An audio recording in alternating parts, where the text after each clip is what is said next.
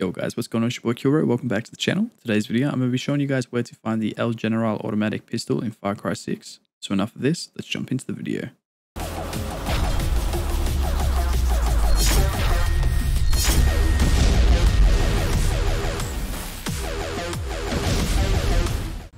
Alrighty guys, so you want to come to this location on the map right here. It is the FND munitions storage area.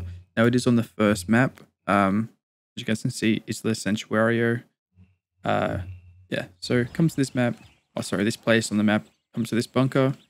Um, turn right and there'll be a key on this desk. Once you've grabbed the desk, I'm sorry, once you've grabbed the key, not the desk, uh, head down the ladder and you'll use the key to open this door. And as you guys can see right in front of you is the crocodile chest or crate, whatever you want to call it and yeah, open it up and you uh, you'll get the El General. Nice and easy, guys. So I hope you guys are enjoying these uh, kind of little uh, unique uh, weapons how-to guides.